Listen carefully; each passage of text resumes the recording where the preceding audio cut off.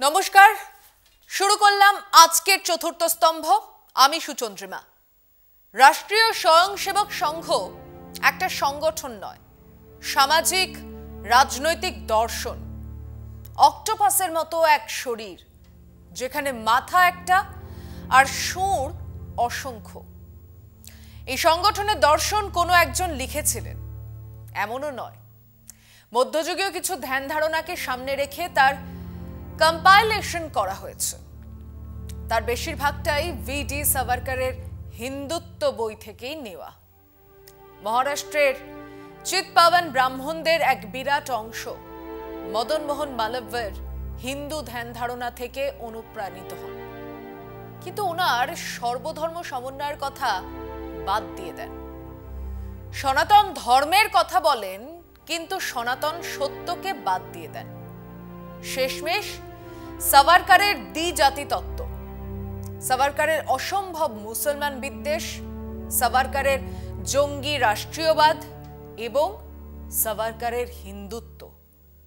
ভারতীয় জাতীয়তাবাদের ওপর ভিত্তি করেই আরএসএস গড়ে ওঠে। উনিশশো পঁচিশ সালে ভারতবর্ষে দুটো ঘটনা ঘটছে। সাতাশে সেপ্টেম্বর উনিশশো পঁচিশ, কেশব বলিরাম হেডগাওয়ার রাষ্ট্রীয় স্বয়ংসেবক সংঘ তৈরি করছেন নাগপুরে।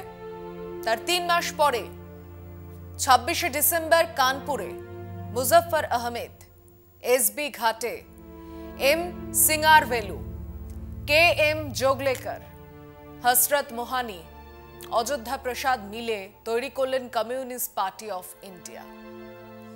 তার আগে তাসখান্দে একটা চেষ্টা হয়েছিল, কিন্তু তাতে এম এন রায়ের মতো নেতারা থাকলেও সেটা ঠিক ভারতের কমিউনিস্ট নেতাদের একটা গ্রুপের মতো তৈরি হয়েছিল।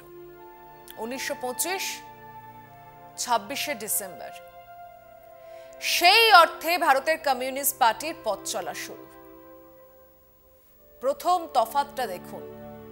আজ সাতানব্বই বছর পরেও আরএসএস এর হেডকোয়ার্টার নাগপুর। সেখান থেকেই তারা ছড়িয়েছেন। সারা দেশে তাদের উপস্থিতি তারা আজ রাষ্ট্র ক্ষমতায়। রাষ্ট্রের প্রতিটা প্রতিষ্ঠানে তারা প্রবলভাবে উপস্থিতি শুধু নয়, তারাই প্রতিষ্ঠানগুলো চালাচ্ছেন। অন্যদিকে কানপুর তো ছেড়েই দিন, গোটা উত্তরপ্রদেশে কমিউনিস্ট পার্টি নেই বললে কম বলা হয়। তারা মুছে গেছে বিধানসভা বা লোকসভার আসনের নিক্তিতে তো বটেই, এমনকি সাধারণ মানুষের মধ্যেও তারা নেই। তাদের উপস্থিতির কোনো চিহ্ন নেই। কমিউনিস্টদের বাদই দিলাম। আঠারোশো পঁচাশিতে কংগ্রেস তৈরি হয়েছিল। কিন্তু যাকে বলে কংগ্রেসি মতাদর্শ, তা এসেছে দলে গান্ধীজি আসার পর থেকেই। ইংরেজ বিরোধিতা, স্বাধীনতার লড়াই তো ছিলই। তার সঙ্গে ছিল সর্বধর্ম সমন্বয়, উদার গণতান্ত্রিক কাঠামো, রাষ্ট্রের কল্যাণকারী ভূমিকা, দরিদ্রতম মানুষজনের সেবা ইত্যাদি বিভিন্ন সামাজিক, রাজনৈতিক বিষয় যা সমাজের প্রত্যেক স্তরের মানুষকে আকর্ষিত করেছে। কংগ্রেসের সভাপতি হয়েছিলেন মদনমোহন মালব্য, যিনি হিন্দু মহাসভা তৈরি করেছিলেন। জওহরলাল নেহেরু, যিনি সমাজতন্ত্রের কথা বলতেন। চক্রবর্তী রাজগোপালাচারীর মতো দক্ষিণপন্থী ছিলেন। জয়প্রকাশ নারায়ণের মতো সমাজবাদীরাও ছিলেন। কমিউনিস্ট নেতারাও কংগ্রেসের মধ্যে কাজ করতেন। কিন্তু গান্ধীজি কংগ্রেসকে ক্রমশ এক মধ্যপথে আনার চেষ্টা করছিলেন। তিনি বুঝেছিলেন, নাস্তিক, সমাজবাদী, কমিউনিস্টদের ওই আরএসএস বা হিন্দু মহাসভা খুব সহজেই জনবিচ্ছিন্ন করতে পারবে। পারবে কারণ হাজার হাজার বছরের এক ধরনের আধ্যাত্মিক ধ্যান ধারণা আমাদের দেশে আছে। তার শেকড় খুব শক্ত। তাকে ওপরাতে গেলে মানুষ ভুল বুঝবে আর তাকেই কাজে লাগিয়ে এই হিন্দুত্ববাদী শক্তি বা মুসলমান মৌলবাদী শক্তি তাদের সমর্থন বাড়াবে। তিনি নিজে গোড়া হিন্দুই ছিলেন, কিন্তু সর্বধর্ম সমন্বয়, জাতপাতের বিরুদ্ধে লড়াই হিন্দু মুসলমান ঐক্য ইত্যাদির কথা বলেই এক অন্য ন্যারেটিভ তৈরি করার চেষ্টা করছিলেন তাই খুব স্বাভাবিকভাবেই স্বাধীনতা সংগ্রাম পর্বে না কমিউনিস্টরা, না সোশ্যালিস্টরা, না উদার গণতন্ত্রবাদীরা, কেউই এই আরএসএস হিন্দু মহাসভার টার্গেট ছিল না। তারা নেতাজি জওহরলালকে মারার কথা ভাবেনি। কিন্তু গান্ধীজিকে? একবার নয়, বহুবার খুন করার চেষ্টা করেছে। চক্রান্ত চালিয়ে গেছে এবং শেষ পর্যন্ত হত্যা করেছে। গান্ধী হত্যার দিন তারা মিষ্টি বিলিয়েছিল। তারা বুঝেছিল তাদের প্রধান শত্রু শেষ। কিন্তু তাদের এই হত্যাই তাদেরকে জনবিচ্ছিন্ন করে। গান্ধীর আদর্শ আরও গভীর হয়ে চেপে বসে দেশের মানুষের সমাজের ওপরে এই গান্ধীবাদী আদর্শ থেকে তারা সরতে শুরু করেছিল জওহরলাল নেহরুর সময় থেকে কিন্তু সেই সরতে থাকাটা তেমন ভাবে চোখে পড়েনি। কিন্তু পরবর্তীকালে উদার অর্থনীতি, গণতান্ত্রিক ধ্যান ধারণার বাইরে গিয়ে রাষ্ট্রের এক কঠোর ব্যবস্থার দিকে পা বাড়ায় কংগ্রেস। স্বৈরতান্ত্রিক ঝোঁক শুধু নয়, জরুরি অবস্থা জারি করেন ইন্দিরা গান্ধী। ওই সময়টাই ছিল আরএসএস এর আবার ঘুরে দাঁড়ানোর সময়। কংগ্রেসের বিরুদ্ধে মানুষের ক্ষোভকে কাজে লাগিয়েই তারা ক্ষমতায় এসেছে। কিন্তু সংগঠন বেড়েছে সেই পুরনো হিন্দুত্বের স্লোগানেই সময় একটা বিরতির সঙ্গে থাকুন। বাইশে ডিসেম্বর উনিশশো উনপঞ্চাশ, রাত তিনটের সময়, অযোধ্যার আকাশে বিদ্যুৎ চমকালো এবং বিদ্যুতের চেয়েও বেশি বেগে খবর পৌঁছে গেল, রামলালা নিজেই অবতীর্ণ হলেন তার জন্মভূমিতে। বাবরি মসজিদকে ঘিরে সেখানকার হিন্দু সাধুদের যে দাবি ছিল, তা হয়ে উঠল আরএসএস হিন্দু মহাসভার দাবি। সেই থেকে শুরু মন্দির ওহি বানায়েঙ্গের আন্দোলন। আসল ঘটনা জানার পর, পরের দিনই অযোধ্যা থানার ওসি রামদেও দুবে এফআইআর করলেন যে অভিরাম দাস, রামসকল দাস, সুদর্শন দাস এবং আরও কয়েকজন মিলে মসজিদে ঢুকে রামলালার মূর্তি বসায়। মসজিদের গায়ে কিছু আঁকিবুকিও কেটে আসে। সেই সময় অযোধ্যার শহর হাকিম গুরুদত্ত সিং, জেলা হাকিম K K Nair SP Kripal Singh এবং বিচারক ঠাকুর বীর সিং, এরা বৈঠক করেন। রামলালা ভেতরেই থেকে যায়। গ্রেফতার হয় না। দর্শন চলতে থাকে। এই চারজনের প্রত্যক্ষ সাহায্যেই রামলালার মূর্তি থেকেই যায় পরে আদালতের আদেশে দর্শন বন্ধ হয়। এই অযোধ্যারই শহর হাকিম গুরুদত্ত সিং ছিলেন রাম ভক্ত। বাড়ির নাম দেন রাম ভবন। এনার নাতি বিজেপি নেতা শক্তি সিং, যিনি গুমনামি বাবাকে তার বাড়িতে আশ্রয় দিয়েছিলেন এবং এখনও প্রেস মিডিয়াকে ডেকে তেইশে জানুয়ারি গুমনামির সমাধিস্থলে ভাষণ দেন। তার মানে রাম মন্দির আর তার পরিকল্পনা বা ষড়যন্ত্র তো আজ নয়, বহু বহু পুরনো। কিন্তু তা আকার পেল কখন? যখন কংগ্রেস দুর্বল। কংগ্রেসের বিরুদ্ধে সম্মিলিত বিরোধী শক্তি। সমস্যাটা এখানেই। কংগ্রেস জাহান নামে যাক। কিন্তু কংগ্রেস জাহান নামে গেলে তার বদলে উঠে আসবে হিন্দুত্ববাদী আরএসএস। হয়েছেও সেটাই। এবং তারপর থেকে দেশ ক্রমশ এক হিন্দু টোটালিটেরিয়ানদের দখলে চলে গেছে। দেশ জুড়ে প্রচার চলছে। পুরো মিথ্যে আতখানা মিথ্যে আর কয়েকটা সত্যি দিয়ে এক জোরালো ককটেলের নেশায় পাবলিক বুঁদ তারা প্রতিদিন এই বিষ উগ্রচ্ছে। হিন্দুদের সংখ্যা কমে যাচ্ছে। মোগল ইতিহাসে লক্ষ লক্ষ মন্দির ভাঙা হয়েছিল। কেন সেগুলো স্কুলে পড়ানো হবে না?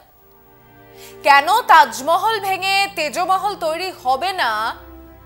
সাভারকার নাকি গান্ধীজির সমান নেতা ছিলেন, মুসলমানদের জন্য তৈরি হয়েছিল পাকিস্তান, হিন্দুদের জন্য হিন্দুস্তান।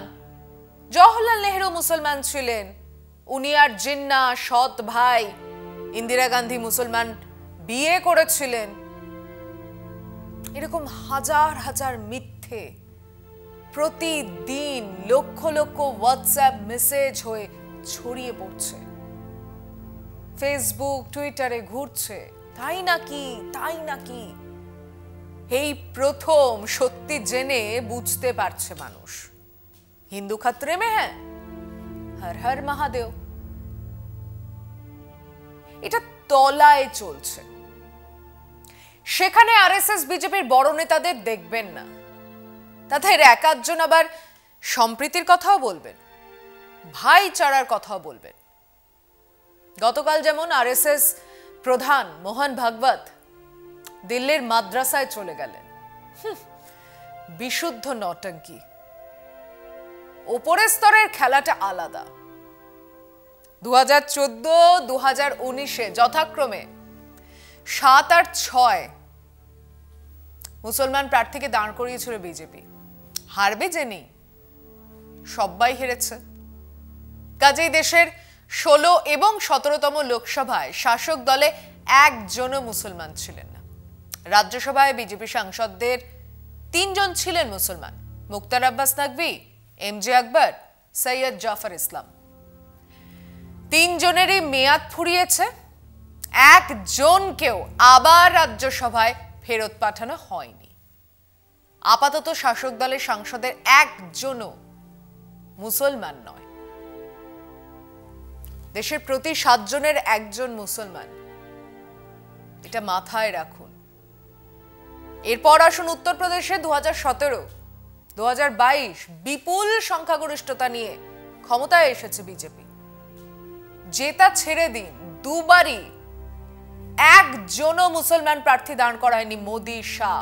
যোগী, মাথায় রাখুন উত্তরপ্রদেশে প্রতি পাঁচ জনের একজন হলেন মুসলমান। এবার আসুন অসমে। সেখানে দু হাজার ষোলো আর দু হাজার একুশ মিলিয়ে সতেরো জন মুসলমান প্রার্থী দাঁড় করানো হয়েছিল। একজন মাত্র জিতেছিল, সেটাও দু হাজার ষোলোতে।